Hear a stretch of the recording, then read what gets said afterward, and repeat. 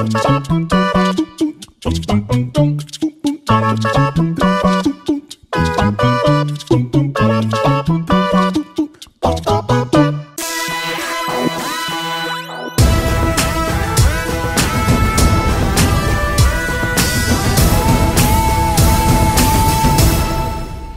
καταφέραμε και κερδίσαμε το ντέρμπι της αγωνιστικής. Ένα παιχνίδι που το θέλαμε και το επιζητούσαμε από το πρώτο λεπτό του παιχνιδιού. Ε, μπορούσαμε να φτάσουμε πολύ πιο γρηγορότερα στην επιτεύξη του γκολ και στο πρώτο ημίχρονο.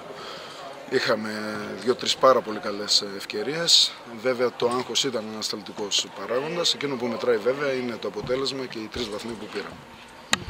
Ένα παιχνίδι που βρει, είχε δυσκολίες ε, και θέλω να μας πείτε και πού κρίθηκε κατά δική σας άποψη. Είδαμε ότι η αντίπαλη ομάδα έπαιζε από το πρώτο ημίχρονο με 10 παίκτες και πόσο επηρέασε αυτό βασικά; Ε, σίγουρα μας βοήθησε η αποβολή που είχε ο παίκτης της Πολυκάρπης, αλλά πολλές φορές ε, ο παράγοντας της αποβολής μπορεί να έρθει και boomerang ε, από τον αντίπαλο ανεβάζοντας την απόδοσή τους.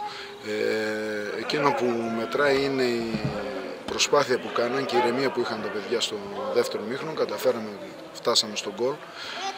Ε, είχαμε και άλλες ευκαιρίες και μπορούσαμε να τελειώσει το μάτι πολύ πιο γρήγορα και πολύ πιο εύκολα για μας. Mm-hmm. Ελαφρύ προβάδισμα για την ομάδα της Καλυθίας, μόνη της στην κορυφή της βαθμολογίας, ωστόσο όμως ο δρόμος είναι πολύ μακρύς κύριε Ναι, σίγουρα δεν μπορούμε να πούμε κάτι άλλο. Είμαστε πολύ μπροστά, πέμπτη αγωνιστική. Σίγουρα είναι μια νίκη ηθικού, ψυχολογίας για την ομάδα μας. Ε, από εδώ και πέρα όμως ε, θέλει πολλή δουλειά για να φτάσουμε στον τελικό στόχο μας. Πολύ.